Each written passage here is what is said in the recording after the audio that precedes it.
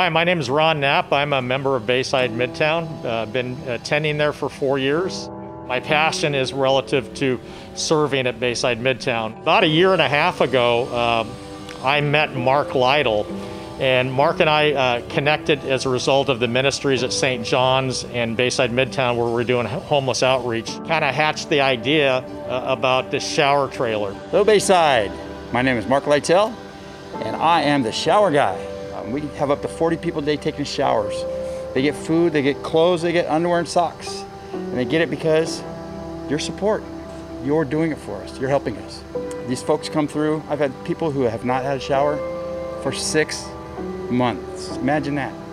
Through Bayside, uh, we've provided over 50,000 lunches uh, to our patrons and 6,500 uh, uh, showers. These are people. Everybody out there, everybody out there is somebody, someone. Well, here's our bus. This is our support bus for the shower trailer. We recently got it. Mark back here, my second hand. We don't know how to do everything. We need help doing it. Um, if you know anybody that can help, we paint it. We have a color in mind. We've got our ideas. We just need help to finish up with those ideas. When you're homeless, you know what I'm saying, the necessities that you usually have are limited. But thanks to these guys, the necessities and those spaces have been filled. Clothes, clean clothes. Some people don't change clothes for weeks at a time. With these guys, once a week or every day if you want it. I originally got involved with the, um, the prison ministry. Then when COVID hit, I, my heart was hurting because I wasn't able to serve. And I just felt a calling to do that. My heart was, was broken when I saw the people who didn't have homes, they didn't have food, they didn't have clothes, they didn't have shower, and they didn't know Jesus. I found this an opportunity to share my love of Jesus with them by handing them a lunch and explaining to them who we are.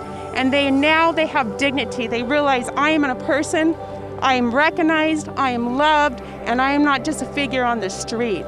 Being a part of outreach has been an honor and a privilege for me, knowing that I was called to that early on in my recovery from Jesus. And getting to be the hands and feet outside, getting to serve the people. So it's been an honor and a joy to do this and to also bring my Celebrate Recovery family into what we are doing. Pray for us as we continue to do this and just know that Jesus has his way in Sacramento.